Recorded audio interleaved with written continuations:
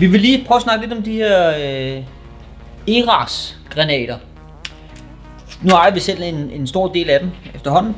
Og, øh, men man oplever tit, at de bliver utætte. Og hvordan tætner vi det møg her? Fastnøgle. Sætter man den på. Up, der. Og så kan man enten dreje herop, eller man kan dreje bunden. Det er ligesom de to ting, der sidder sammen. Skiller man det. Sådan der. Boom. Så har du kuglen. Det kan man lige væk. Lægger vi der. Så har du en blå pakning herinde. Og en sort pakning der. Og en sort pakning der. Her, der skal man lige, jeg plejer at bruge dem her til lige at ploppe dem igen. Så kommer den der sæt ud. Og så har vi også en blå pakning deroppe.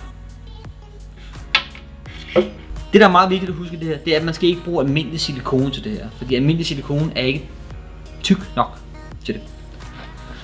Så øh, det jeg vil anbefale, det er at man får fat i sådan en gang, øh, ja, ja, det er sådan et maintenance, Airsoft Maintenance Kit.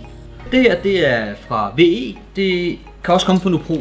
Øh, og dernede i, der ligger en masse forskellige øh, ting og sager. De er ens kitten, er jeg meget sikker på. Øh, men det vi skal bruge, det er den der hedder Oil Remover. Og en Plastic Lubricant Spray. Det er ikke så meget en spray, det vil jeg dog sige, det ikke er. Men, det du simpelthen gør, først og fremmest tager du lige og renser af med det her. Bare sådan rundt omkring, så du fjerner alt det gamle. Det er ikke noget, jeg tænker mig at gøre nu, fordi det har jeg næsten ikke gjort. Men, øh, den her, den øh, tager du simpelthen bare lige og skyder. Ligger en her på, og simpelthen lige smører rundt. Og så med den samme finger, som du lige har brugt der. Men så tager man lige også og smører de her o her omkring med det her silikone. Det næste man så gør, det er at man skal smøre den her herop. Så tager der så altså smørpakningen derop. Så har vi også den saten her. Der kan du bruge den samme finger, bare lige ja. Når du har smurt de pakninger, så skal du igen have monteret den her inden din granat. Og den skal ned igen her, og den kan godt være lidt tricky at få igennem.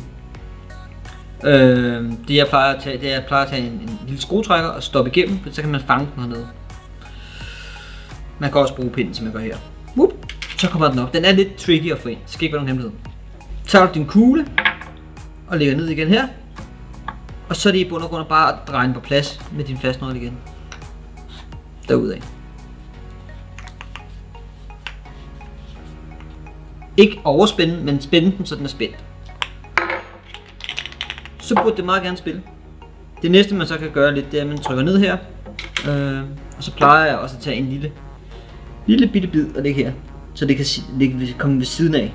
Øh, så siver det stille og roligt ned ved siden af og tætner lidt. Øh, jeg ved ikke om det er den rigtige måde at gøre det på, men det er i hvert fald den måde vi har fundet ud af, der virker bedst for de her granater. Nu kommer det store øjeblik så. Er den tæt? Nu. Men den er tæt. Så øh, god idé er at købe sådan et kit her. Der er mange forskellige silikoner i. Det er en super god øh, idé at have. Når du har det, så kan du tætte din granat. Og få den skyet af. Meget enkelt. Så Iras tætning, sådan der. Hardball Shop har fået tætningsringe, o-ringe, alt sådan noget her hjem til Lige præcis den her. Hope you enjoyed it and thanks for watching. Subscribe on YouTube and like the Facebook page. Thank you. Men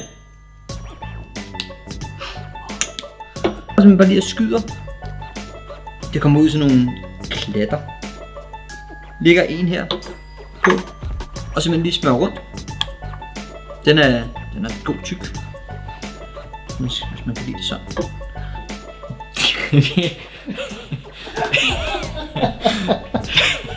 Vi kan godt stoppe, hvis det er. Det var så forkert, det der. Det ser super fint ud, at du står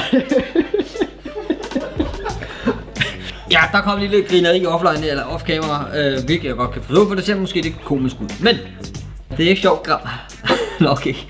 Øh, og, og, ja, smør. så står der så smørpakningen derop. Det er lidt komisk. Der er, der er folk, der forlader lokalet nu, hvilket jeg godt kan forstå. Der kan du bruge den samme finger, bare lige, ja. Det, det er meget mærkeligt, det her. Men det, det er sådan, det gørs.